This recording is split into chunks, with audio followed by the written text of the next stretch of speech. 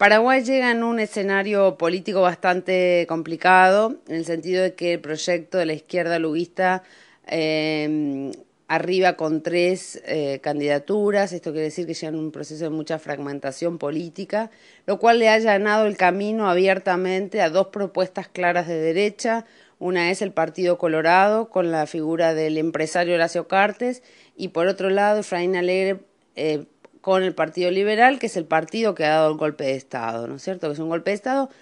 que se le ha denominado golpe de Estado parlamentario porque la figura central de la institución, el actor central que dio el golpe de Estado ha sido el Parlamento. A dos días de institución del golpe de Estado, todos los ministros luguistas querían ser candidato a presidente y eso evidentemente eh, da cuenta de que no es un proyecto político o un grupo político, sino que son las circunstancias que llevaron a Fernando Lugo, de hecho, a ganar la, la presidencia. Más que tienen que ver más con una coyuntura de crisis del sistema político que con un armado eh, de años o una construcción política de años. Eso no necesariamente está bien ni mal, porque de hecho muchas experiencias latinoamericanas pudieron ingresar por esa grieta que dejó la crisis de los sistemas de partidos tradicionales, con lo cual eso también era una oportunidad. No pudo ser en el caso de Paraguay una oportunidad, pero sí es cierto que eh, el proyecto luista no pudo sostenerse, digamos, más allá del golpe de Estado, que ha sido un golpe duro, no solamente ha sido un golpe duro para la izquierda, sino que ha sido un golpe duro para la desilusión de la política. Es probable que eh, muy poco porcentaje de personas asistan a votar, digamos, el dato de la desilusión política, de la desafiliación de los partidos y las identidades, como el dato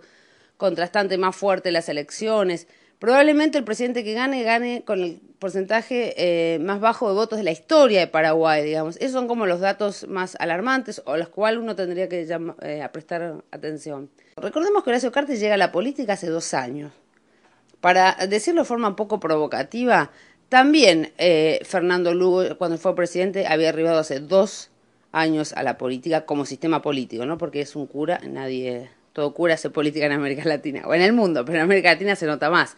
Eh, con lo cual me parece que, que, que, la crisis del sistema de partidos, la crisis del sistema político que no termina de morir y tampoco logra que una figura nueva aparezca como la renovación de, de, de esa crisis o una propuesta superadora de esa crisis, hace que aparezcan estos personajes que son ante todo un interrogante y estaban evaluando algunos programas de reconocimiento de tierras, de títulos, etc. Por lo menos había una política amigable hacia las organizaciones campesinas, muchas de las cuales lo habían apoyado él y habían permitido que llegara a la presidencia. Después de la masacre de Cuervoatí llegan un conjunto de irregularidades, entre ellas eh, cuatro dirigentes campesinos asesinados, eh, huelgas de hambre, un proceso indebido, la justicia involucrada en la masacre de, de. Eh, bueno, un, un, conjunto de irregularidades que sería largo de explicar, eh, pero lo que da cuenta es que eh, Franco ha tenido como territorio o como población objetivo de, eliminación, casi diría una política casi de eliminación, la población campesina. ¿Por qué qué? Porque es la población campesina que más se ha expresado, tal vez, más se ha expresado en contra del golpe, del golpe de Estado. La OEA, España y Francia acaban de reconocer a Venezuela, con lo cual eso es un gran alivio